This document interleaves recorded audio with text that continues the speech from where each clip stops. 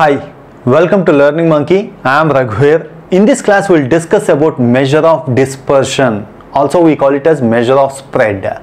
This is very important concept to understand. It is very widely used in statistics. So, in this class, we are going to provide an intuition about what's the use of this measure of spread in data analysis it's very very important to understand this class this graphical intuition and the intuition the data analysis intuition which we provide here will help you a lot in understanding the remaining when you when you go with data analysis. In our next class we are going to discuss about how different ways to find the measure of uh, dispersion. So in this class we will go with the deeper understanding of what's the meaning of a measure of dispersion. Coming to today's class measure of dispersion or spread. Let's understand with the definition. Measure measure of dispersion. The measurement of the scattered of the given data about the average is said to be measure of dispersion. Also we call it as spread of data. Means the measurement of the scatteredness of the data. How much it dispersed from the average.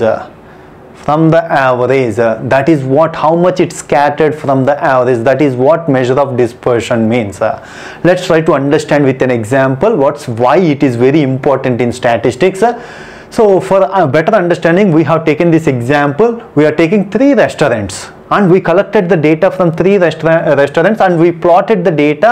Means we uh, the distributions are like this on the x-axis we are going to take uh, thousands. Means each day how many thousands it is going to collect? 4k 5k 6k 7k like that we have collected the data for uh, 30 days means one month. And we plotted this distribution. On the y-axis we are going to take a number of days. Means uh, 4000 has collected for one day. 5000 has collected for two days. 6000 collected for four days. Like that this is how our distribution means.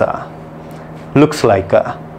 So this is for restaurant 1 the same thing have done for restaurant 2 and our data looks like this on the x-axis we have to write uh, 4k 5k all those things. On the y-axis we have to write number of days.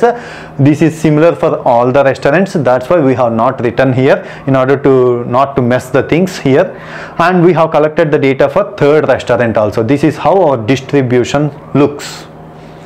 So here what we understand from these three diagrams. On an average this restaurant is going to get 7000 per day that is what we have understand from this uh, distribution. The same way the same way. This restaurant also getting 7000 this restaurant also is getting 7000 if someone asked you to buy any one of this restaurant which one you go with?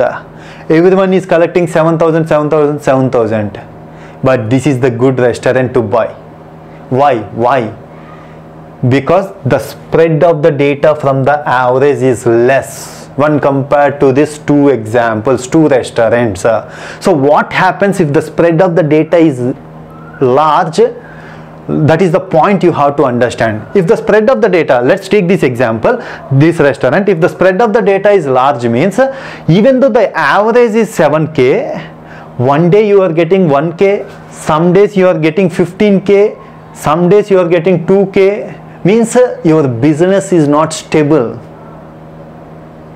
but if you if you take this uh, almost all near to 7k 8k 9k 6k like that uh, your business is stable so that is the point you will understand with the measure of spread. How volatile your data is. Measure of spread is going to give you how volatile means uncertainty of your data means you have to analyze much on this restaurant because uh, your business is not stable. Some days you are going to get 1k why? On which days? Why you are getting much on which days? You there is lot of information hidden to analyze. Simply by taking the average and saying that this is uh, so each of them is getting good uh, uh, 7k so buy you can buy any restaurant? That is not the point you have to say in data analysis so that's why measure of spread is very very important in statistics okay so this is the point you have to understand uncertainty of the data. You have to analyze much uh, about this data. And let's take one more example for better understanding. If you take uh, two areas, area 1 and area 2, if you collect the data of house prices in this area, area 1 area 2 if you plot the data like this uh, this is area 1 and this is area 2 9k 10k 11k like that we are having on the y-axis. You should have number of houses means frequency of the houses which is having 8k so we have not written that all those things uh, if your distribution is like this and the area 2 if your distribution is like this uh, so which area is uh, you can blindly say that in this area you can buy a house on an average you can you can buy a house for uh, 10k because uh, all the remaining houses also very near to this point 8k 9k 10k 11k not much difference. That is what spread means. But in, when you compare to this area area 2 see some you are getting some houses for 1k also. You are getting some houses for 20k also.